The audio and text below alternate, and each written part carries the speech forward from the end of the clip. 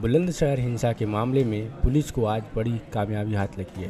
Police ने शहीद inspector Subodh Kumar Singh के सीयूजी मोबाइल को बरामद करने का दावा किया है। पुलिस अधिकारियों का कहना है कि सीयूजी मोबाइल बरामदगी हत्या के आरोपी प्रशांत नट के घर से की गई है। प्रशांत नट के घर से कुल छह मोबाइल फ़ोन बरामद हुए हैं और जिसकी जाँच चल रही है। पिछले साल बुलंदशहर के चिंगरावटी चौकी पर जो हिंसा का पूरा घटनाक्रम हुआ, उसमें एक नवयुवक और इंस्पेक्टर सुबोध कुमार सिंह, जो कि शाना कोतवाली के प्रभारी थे, उनकी जान चली गई थी। हत्या के आरोप में हालाँकि प्रशांत नट नाम के चिंगरावटी के युवक को गिरफ़्तार किया जा चुका है, जो कि फ़िलहाल सलाखों के पीछे है, और आज उसके घर से पुलिस ने सीयूजी मोबाइल को बरामद करने का भी दावा किया है।